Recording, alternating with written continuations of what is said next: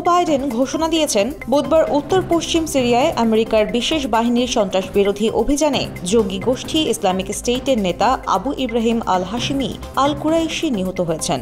বৃহস্পতিবার সকালে এই ঘোষণা দেন বাইডেন। সিরিয়ায় ওই অভিযান আইএস নেতাকে নিশানা করেই চালানো হয়েছিল বলে জানান প্রেসিডেন্ট।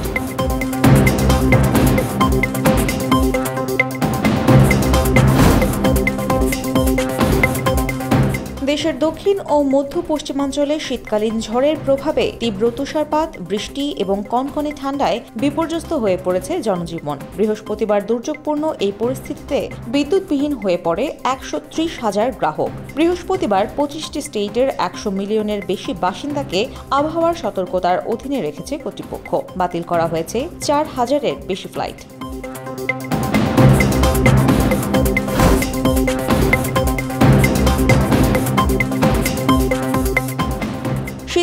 তুষার ঝড়ের কারণে দেশে প্রাকৃতিক গ্যাসের দাম ষোলো শতাংশ বেড়ে গেছে। বুধবার প্রতি মিলিয়ন ব্রিটিশ থার্মাল ইউনিট বিক্রি হয়েছে পাঁচ দশমিক পাঁচ শূন্য ডলারে, যা গত বছরের নভেম্বরের পর সর্বোচ্চ।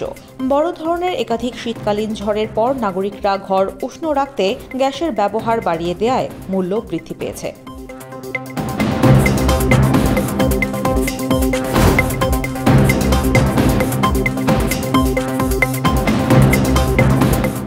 কোভিড নাইন্টিন টিকা নিতে অস্বীকৃতি জানানো সেনাদের অবিলম্বে বরখাস্ত করার ঘোষণা দিয়েছে ইউএস আর্মি। বৈধ ও যৌক্তিক স্বাস্থ্যগত, ধর্মীয় ও প্রশাসনিক কারণে যারা টিকা নেয়ার বাধ্যবাধকতা থেকে ছাড় পেয়েছেন বা ছাড় অনুমোদনের অপেক্ষায় আছেন, তাদের জন্য এই আদেশ কার্যকর হবে না বলেও জানানো হয়েছে।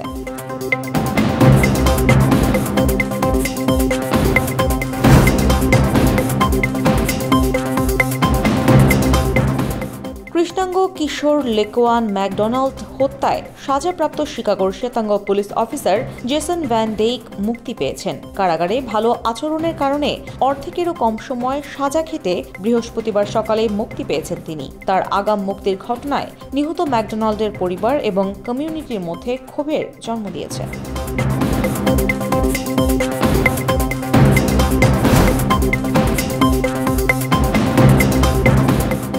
মিথ্যা তথ্য প্রকাশের অভিযোগে নিউ ইয়র্ক টাইমসের বিরুদ্ধে আলাস্কার গভর্নর সারা পেলিনের করা মানহানির মামলাকে কঠিন যুদ্ধ বলে আখ্যা দিয়েছেন পেলিনের এক আইনজীবী। বৃহস্পতিবার জুডির সামনে উপস্থাপিত প্রাথমিক বিবৃতিতেই কথা বলেছেন আইনজীবী শেন ভট। দুই হাজার সতেরো সালে একটি সম্পাদকীয়তে একটি নেতিবাচক ঘটনায় ভুলবশত পেলিনের নাম জড়ানো হয়েছিল।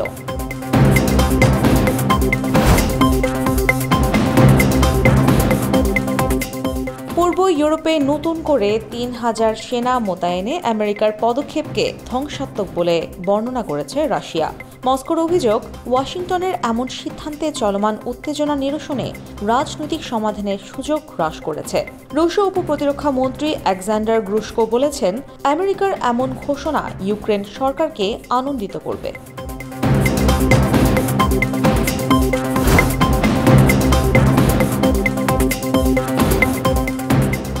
পাকিস্তানের দক্ষিণ পশ্চিমাঞ্চলীয় বেলুচিস্তান প্রদেশের দুইটি সামরিক ঘাঁটিতে জঙ্গি হামলা, নিরাপত্তা বাহিনীর সাতজন সৈনিক ও পনেরো জন আক্রমণকারী নিহত হয়েছে। বৃহস্পতিবার এক বিবৃতিতে এ তথ্য জানিয়েছে দেশটির কর্তৃপক্ষ। বেলুচ লিবারেশন আর্মি নামে একটি বিচ্ছিন্নতাবাদী গোষ্ঠী যুগপথভাবে পরিচালিত এই হামলা দুইটির দায় স্বীকার করেছে।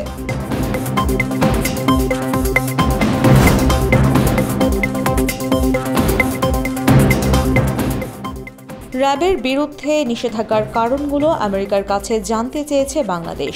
এই নিষেধাজ্ঞার ব্যাপ্তি কতটা সেটাও জানতে চেয়েছে দেশটি। বৃহস্পতিবার বিকেলে সাংবাদিকদের প্রশ্নের উত্তরে নিজ দপ্তরে বাংলাদেশের পররাষ্ট্র প্রতিমন্ত্রী মোহাম্মদ শাহরিয়ার আলম এই তথ্য জানান।